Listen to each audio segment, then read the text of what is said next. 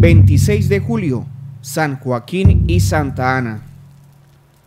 Cada 26 de julio se celebra en la Iglesia Católica la fiesta de los padres de la Santísima Virgen María y abuelos de Jesús, San Joaquín y Santa Ana.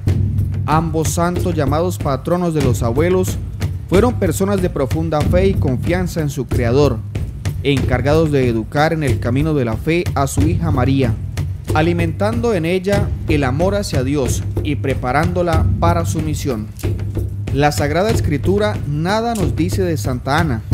Todo lo que sabemos es legendario y se encuentra en el Evangelio apócrifo de Santiago, según el cual a los 24 años de edad se casó con un propietario rural llamado Joaquín Galileo, de la ciudad de Nazaret.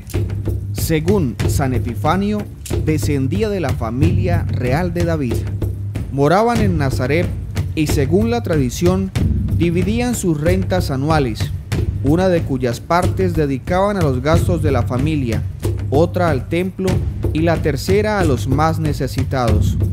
Llevaban ya 20 años de matrimonio y el hijo tan ansiado no llegaba. Los hebreos consideraban la esterilidad como algo oprobioso y un castigo del cielo se los menospreciaba y en la calle se les negaba el saludo. En el templo, Joaquín oía murmurar sobre ellos como indignos de entrar en la casa de Dios.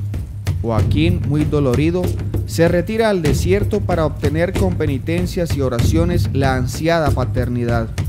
Ana intensificó sus ruegos, implorando como otras veces la gracia de un hijo. Joaquín y Ana vieron premiada su constante oración con el advenimiento de una hija singular, María. Esta niña, que había sido concebida sin pecado original, estaba destinada a ser la madre de Jesucristo, el Hijo de Dios encarnado. Santos Joaquín y Ana, rueguen por nosotros.